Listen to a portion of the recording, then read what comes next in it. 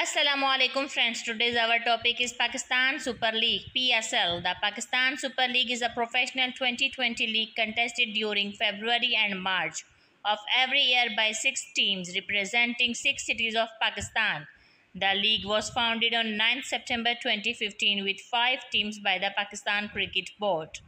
Instead of operating as an association of independently owned teams, the league is a single entity in a in which each franchise is owned and controlled by investors. Each teams play the group stage matches in a double round robin format. The top four teams with the most points qualify for the playoffs, culminating in the final.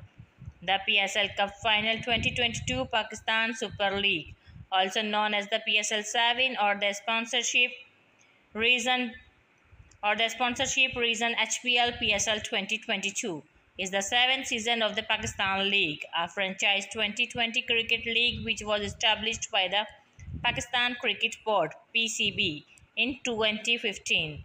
It was played entirely on National Stadium Karachi and Gaddafi Stadium Lahore. The series started on 27 January 2022 and ended on 27 February 2022.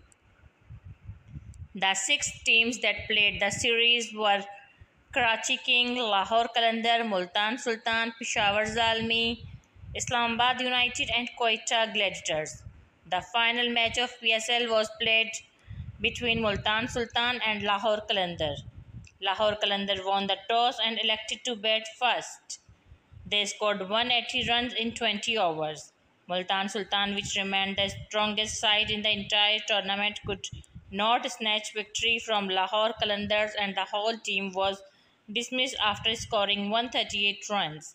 In, the, in this manner, Lahore Qalandar Lahore Qalandar won their maiden PSL title. Muhammad Rizwan Multan Sultan was awarded player of the series for scoring 546 runs in the tournament. Shaheen Afridi Lahore Qalandar remained the leading wicket taker with 20 wickets.